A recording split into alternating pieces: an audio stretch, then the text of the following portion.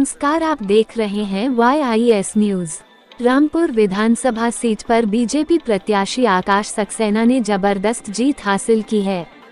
वहीं सपा प्रत्याशी आसिम राजा को हार का मुँह देखना पड़ा है। रामपुर में बीजेपी प्रत्याशी ने तैतीस हज़ार सात सौ दो हज़ार वोटों के अंतर से जीत दर्ज की है, जिसे ऐतिहासिक बताया जा रहा है। इस बीच आकाश सक्सेना ने एबीपी गंगा से खास बातचीत की इस दौरान उन्होंने जीत के लिए रामपुर की जनता को धन्यवाद दिया और कहा कि अब रामपुर में आज़म खान का चैप्टर खत्म हो गया है रामपुर में आज इस जीत पर समर्थकों द्वारा जमकर आतिशबाजी की गई तथा एक दूसरे को मिठाई खिलाकर जीत की बधाई दी गई।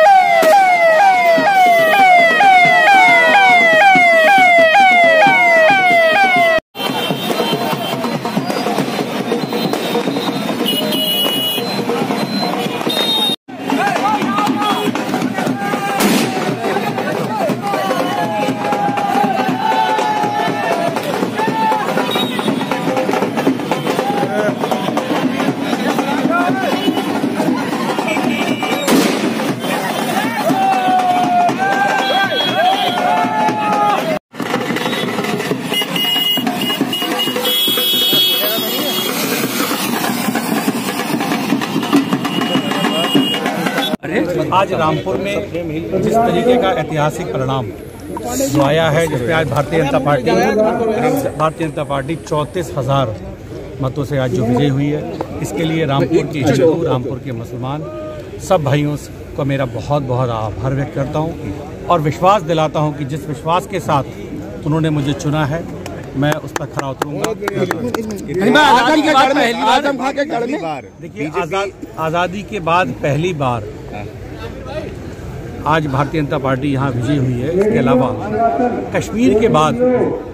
पहली विधानसभा रामपुर की सीट ऐसी है, जहाँ पर 70 प्रतिशत से ज़्यादा जहाँ मुस्लिम है। और उसमें आज योगी सरकार पर जो विश्वास जताया है यहाँ के मुस्लिम भाइयों ने,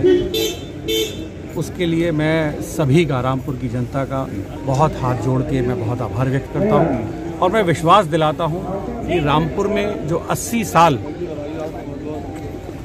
सन 80 के बाद से हिंदू और मुसलमानों के बीच में जो ये खाई पैदा की गई थी उस खाई को मिटाने का पूरा प्रयास करूँगा और ईश्वर ने चाहा एक नए रामपुर का निर्माण करने में मैं कहा जा रहा है कि आज़म खान का जो राजनीतिक करियर है खात्मे की तरफ़ है आज के बाद। देखिए वो चैप्टर अब क्लोज हो चुका है अब सिर्फ़ यहाँ उद्योग की बात होगी रोज़गार की बात होगी और कारोबार की बात सबका साथ सबका सबका विश्वास जो नारा है बिल्कुल उसी उसी नारे पर यहाँ